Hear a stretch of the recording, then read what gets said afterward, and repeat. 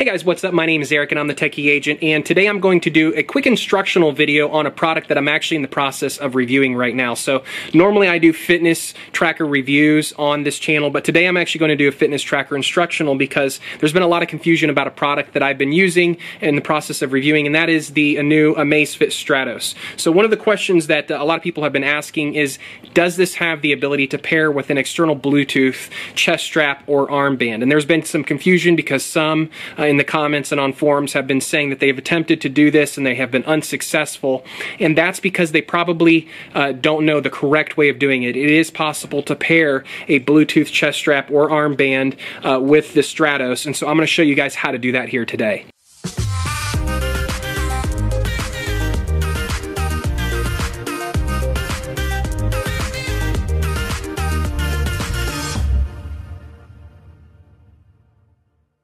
So what most people have been doing is dragging down from the top and accessing the settings, and then they go to the connection option where you can connect to either Wi-Fi or Bluetooth settings. They select the Bluetooth, and then they search for the wearable accessory like an armband or chest strap that they're trying to connect with, and it doesn't show up, and so they've assumed that it's not compatible with this device, that it does not pair with external heart rate sensors. Uh, but that's not entirely true. This actually does pair with external heart rate sensors. You just have have to do it the right way.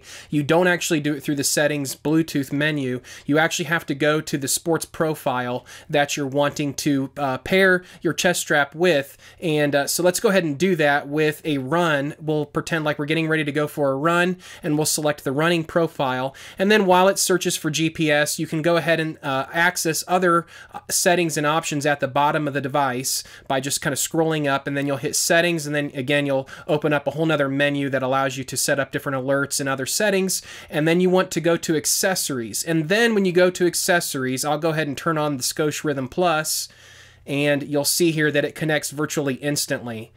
So it's connecting, it finds it, and then it connected. There you go. So that is how you pair an external heart rate sensor with the uh, Amazfit Stratos. And you can do this with any of the different sports profiles. I think maybe with the exception of swimming, but I'm not entirely sure. So yeah, the Scosche Rhythm Plus, you can see here, it's got the blue LED indicator that shows that it is connected uh, to the device. And then you can also select to disconnect it if instead you would prefer to use the built-in optical heart rate sensor uh, on the back of the device instead instead of the external one. So that's how you do it. Hey guys, thanks for watching. My name's Eric and I'm the Techy Agent. Hope you enjoyed this video and stay tuned for the full Amazfit uh, Stratos review coming here in about three days. Thanks for watching. We'll catch you guys next time.